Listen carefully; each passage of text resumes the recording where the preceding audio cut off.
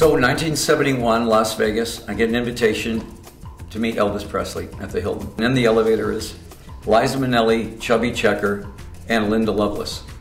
So that's the four people that's going to go up and meet Elvis that night. You know, this is when Elvis was Elvis. Wasn't fat Elvis, he was rock Elvis. And he comes walking in and he goes, Hey man, you're the cat with the snake, ain't you?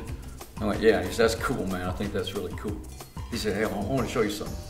So I go into the kitchen. He opens up a drawer, hands me a Smith & Wesson 38, snub nose 38. And he said, I'm gonna show you how to take this gun out of somebody's hand. Now I'm standing there with a snub nose 38 on him, and a little angel, little devil on my shoulder. Little devil says, shoot him. I go, no, I can't shoot him. The little angel says, wound him.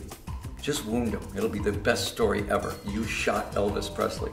By the time I could make up my mind, the gun was on the ground. I was on the floor. His boot was in my throat, and I'm going, that's good, Elvis. Can I get up now? But I kept thinking, what happens when the Memphis Mafia walks in and I'm standing there with a loaded 38 on Elvis Presley? One of us is going to get shot. and I said, might as well shoot him. But I didn't. I'm Alice Cooper, and that's my best story ever.